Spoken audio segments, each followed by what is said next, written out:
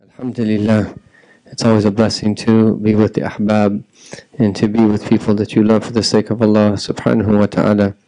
And we ask Allah subhanahu wa ta'ala to protect us all and to preserve us all. And to leave these moments of purity where in which that we're remembering our Lord and remembering our beloved sallallahu alayhi wa sallam and we leave them in the care of Allah.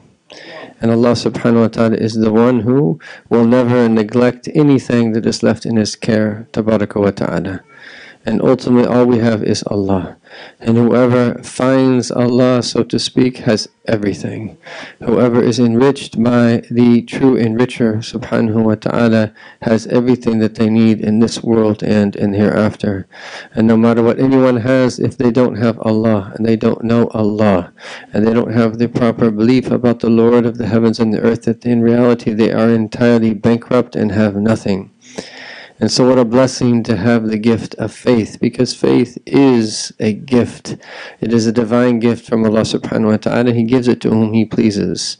And whether we were born with parents who are Muslim or that we entered into this faith, the reality is, even blessings that are quote unquote kesbi that we've so called earned, in reality, everything is wahbi.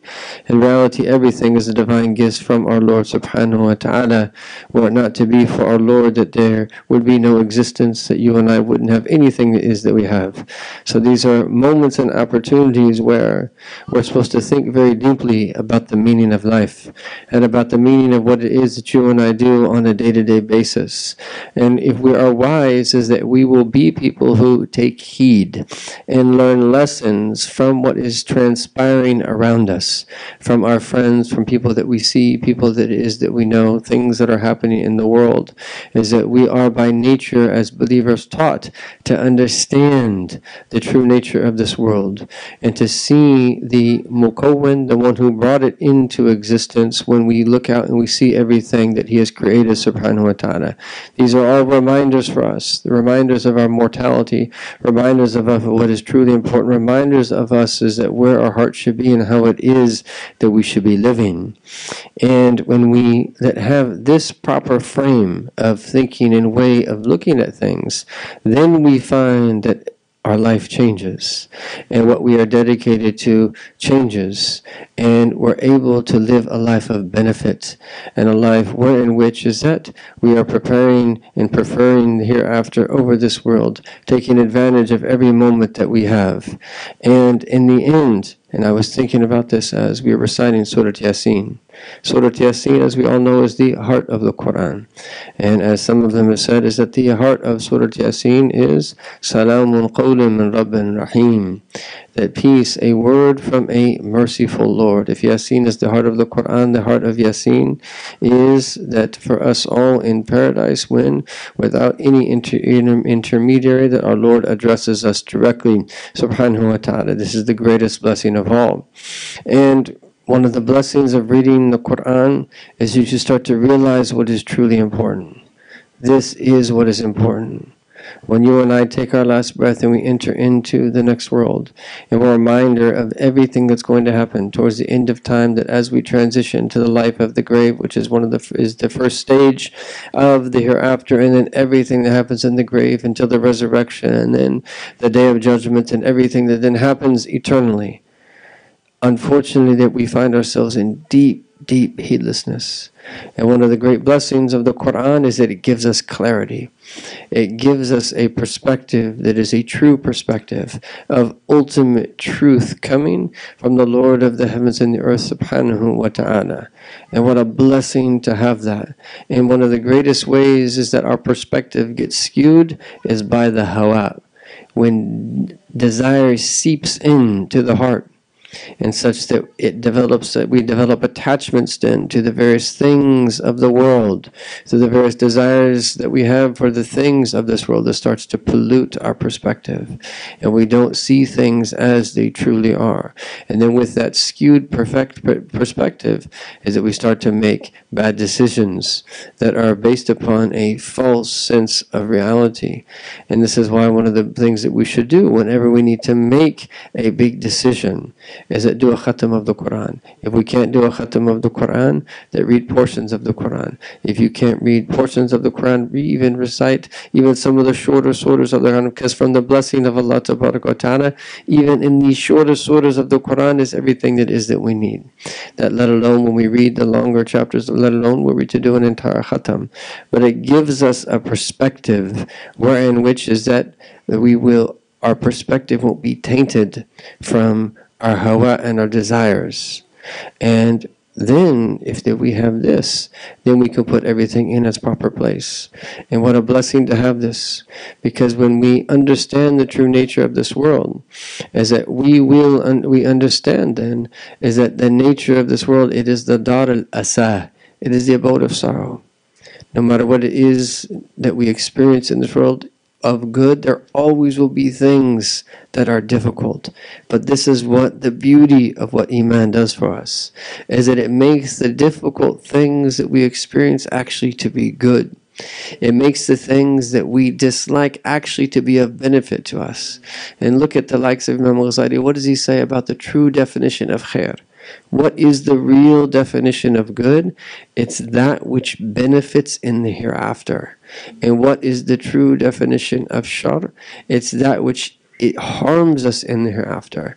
So there are a long list of things that outwardly seem to be unimaginable, that manifestations of evil, but in reality, they are good.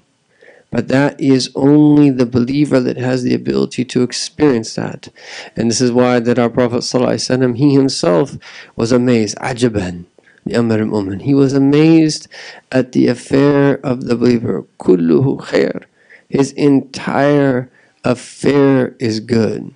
Whether we go through that a state of prosperity and ease or whether we go through a state of calamity and tribulation, if we do what it is that we're supposed to do, is that we will be beloved to our Lord subhanahu wa ta'ala and He will open up the doors for us to find the comfort and strength that we need to be able to process it and get through whatever it needs that we need to get through here in this world. But ultimately, is that what really matters is when we take our last breath. And if anyone, and they say that if you want to ask someone about the true nature of the world, ask someone who's going through the sakarat al maut. Ask someone who's going through the throes of death just before they die. And if everyone has seen that, that is the greatest admonition of all to be right next to someone as they get closer and closer and closer to passing, and then to be right there when they take their last breath and then to see that body that was alive, that had animate life because the ruh, the spirit was in it, but then all of a sudden the ruh is no longer present, and the body is still there, but there's no more life. And where did that life go? Where did the spirit go? Is that we know where it goes as believers, but what an admonition to see that and then to have to wash a body, and then to shroud that body, and then to pray upon that body, and then to bury them at six feet deep, and to actually lay them on the ground on the right side facing the Kaaba and that moving the shroud away slightly so the right cheek is that on the dirt itself and then to pour dirt on top of them. La ilaha illallah. And then this is why it's sunnah for us to remind ourselves as we take those three scoops of dirt minha khalaqnakum from it we created wa fiha nu'idukum into it that we return you minha nukhrijukum taratan ukhra we are going to bring you forth from it a second time. And la ilaha illallah that what an admonition. And it's in moments like those is that you have flashbacks of your entire life. How did I live? What have I done with my life? And what are we all doing with our lives?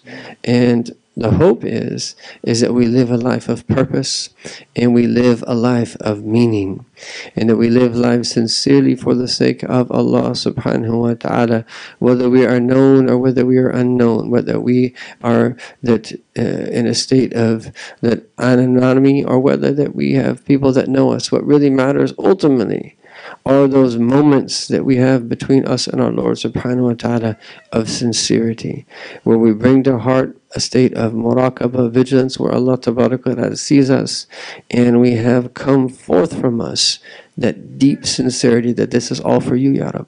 this is not for other people, is that this is ultimately all for you, and this is a gift. If everything that we do can be solely for the sake of Allah, is that we put everything in its proper place from the morning until the evening, and we rid from our hearts the desire to please people, to do things for the sake of people, or to seek people's approval, or to be accepted by them, let alone to be praised by them, is that we do it solely for the sake of Allah and put everything then in its proper place.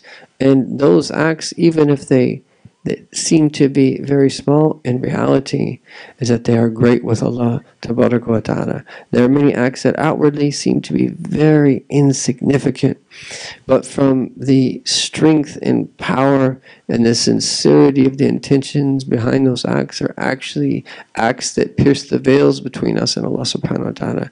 They're acts that are a cause for things to happen in the unseen as a result of that.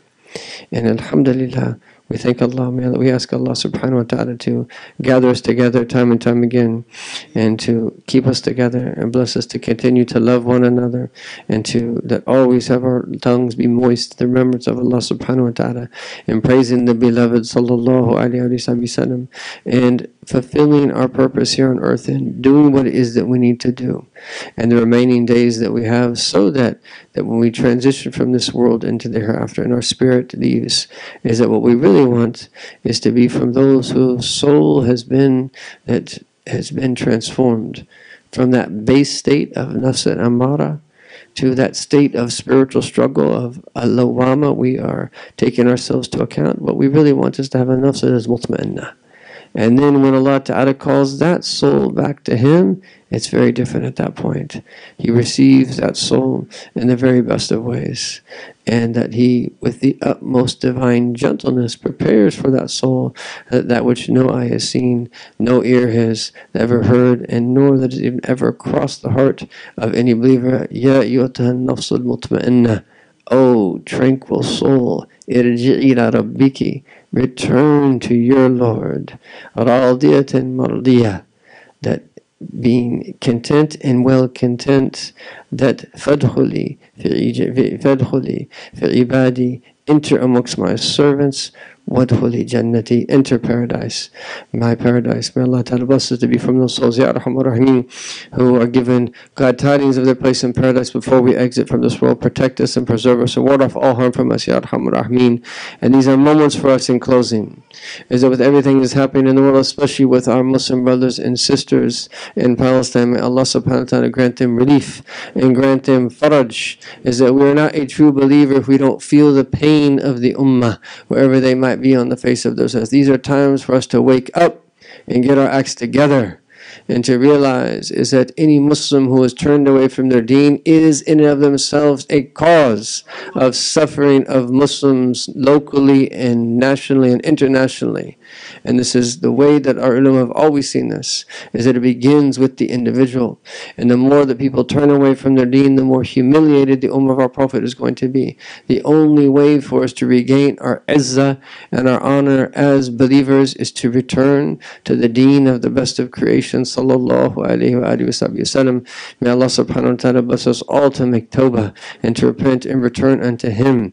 And may the ummah of our Prophet be returned unto Allah subhanahu wa ta'ala and return to a way of following the Sunnah in the very best of ways. Ya Arhamur Rahimeen. Wa sallallahu ala Sayyidina Muhammadin wa ala alihi wa sahbihi wa sallam. Walhamdulillahi Rabbil Alameen.